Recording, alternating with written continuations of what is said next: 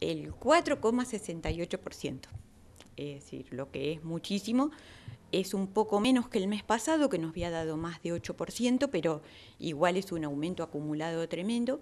Aumentaron las carnes, el pollo, y bueno, y hay un por ahí un descenso pequeño en, productos estacionales, los tomates, los huevos, pero tiene que ver con la estación del año, por ahí no con que hayan descendido los precios. Pero del resto de los productos de almacén, los secos, la carne, han, han subido bastante. Bueno, debe ser lo que ve la gente cuando va al mercado, si no es nada del otro mundo. ¿En productos de limpieza? Y no, en eso no vimos, en productos de limpieza no hay gran diferencia, pero sí en lo que es almacén y carnes.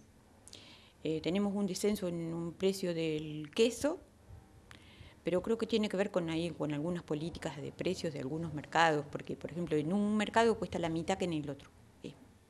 Es, mucho. ¿El mismo queso? El mismo queso, porque tomamos siempre, bueno, la marca conocida, la Serenísima. Y el mismo sale la mitad en un mercado que en el otro. Debe tener que ver con ofertas que consiguen los supermercadistas y los tomadores de precios y demás.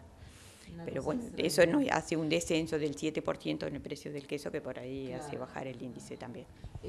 Susana, ¿este qué mes es ya del relevamiento del socialismo? El relevamiento es el 26. Ajá. ¿Y, cuánto lleva acumulado hasta el momento? En este año llevamos el 36%. Y si miramos un año hacia atrás, el 41%.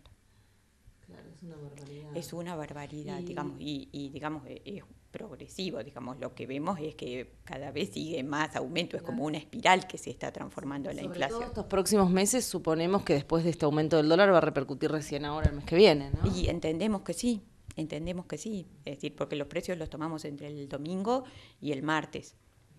Es decir, no sé si habían alcanzado a remarcar, pero bueno, el impacto puede ser puede ser terrible. Bien, Susana. Bueno, así que volvemos a reiterar la cifra 4. 4,68% para el mes de, agosto y 36% en lo que va de 2018.